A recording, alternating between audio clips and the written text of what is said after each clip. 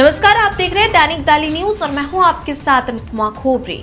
और रुक करते खास खबरों की ओर। गुजरात राज्य के वलसाड ज़िले के भारतीय जनता पार्टी के सोशल मीडिया के इंचार्ज एवं उमरगाम तहसील के भारतीय जनता पार्टी के कई पदभार पदाधिकारियों ने गांधीनगर में जाकर गुजरात राज्य के नवनियुक्त मुख्यमंत्री भूपेंद्र भाई पटेल जी से वलसाड ज़िले से बने नवनियुक्त गुजरात के राज्य मंत्री और कैबिनेट मंत्रियों में से वित्त ऊर्जा तथा पेट्रोकेमिकल कैबिनेट मंत्री कनुभाई देसाई से तथा गुजरात राज्य के जल आपूर्ति मत्स्य श्री पालन कल्प सर परियोजना नर्मदा जल संसाधन स्वतंत्र प्रभार राज्य मंत्री श्री जीतू भाई चौधरी से और अन्य नव नियुक्त मंत्रियों से गुजरात राज्य के वलसाड ज़िले के भारतीय जनता पार्टी के सोशल मीडिया के इंचार्ज हितेश भाई सूरती व उमरगाम तहसील के भारतीय जनता पार्टी के कई पदाधिकारियों में तहसील सचिव प्रकाश पटेल, उपाध्यक्ष दौलत भाई पटेल और अन्य पदाधिकारी गांधीनगर में जाकर सौजन्य भेंट किए।